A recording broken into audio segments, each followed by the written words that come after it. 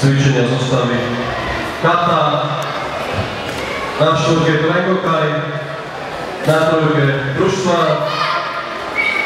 a na tatami 2 takisto Trengokaj, chlapci z účastníkov majstrovstiev Európy a majstrovstiev sveta.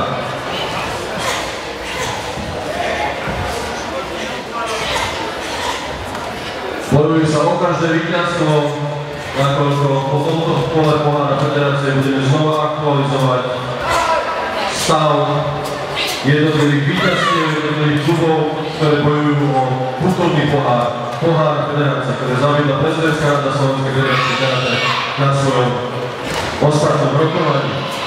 Najúspešnejší klub získa kultúrny pohár pohár federácie.